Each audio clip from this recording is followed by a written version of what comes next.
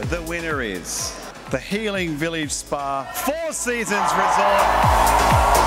It feels fantastic.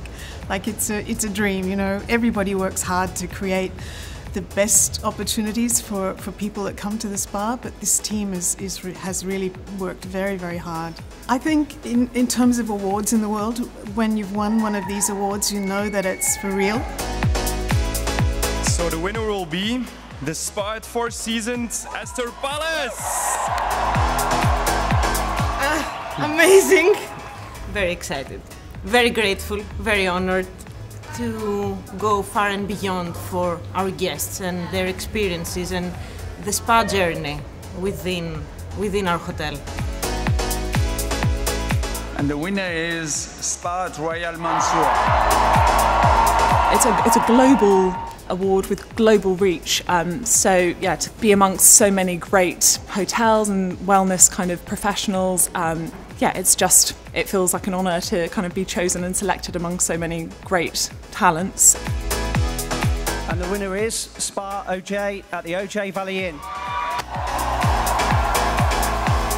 It's an incredible honour. I'm so proud. I'm so proud of my team, our ownership group. We've worked really, really hard, especially post-pandemic, to really elevate our level of service, and this is an incredible honour.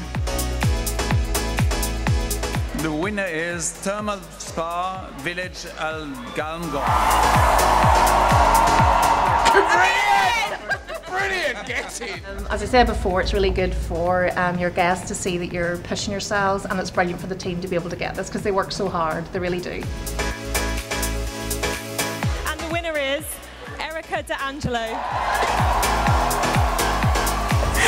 Oh my gosh, can't you see it? It's just amazing. I couldn't have never thought of this. This is incredible. I'm so grateful and so proud for this. 15 years I worked for this industry and I don't think that an award such as this has been so impactful in my life.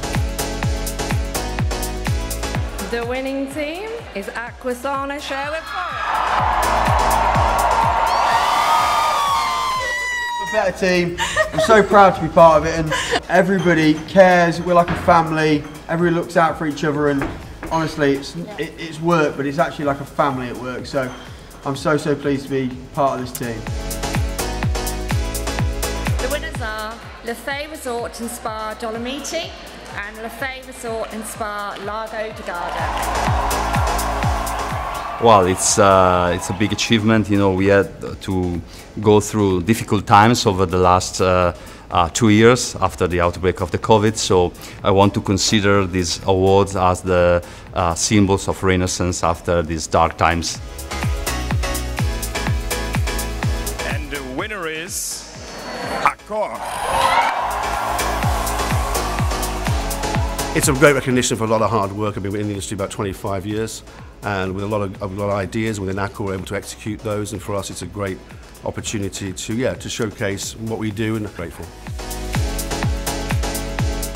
And the winner is Kamalaya Wellness Sanctuary and Holistic Spa. I'm a bit overwhelmed today, so I actually got pretty shaky tonight. We're an influencer in the business. Um, we didn't intend that, but it happened that way. This is the fourth time we've won this award. It means everything to our business going forward.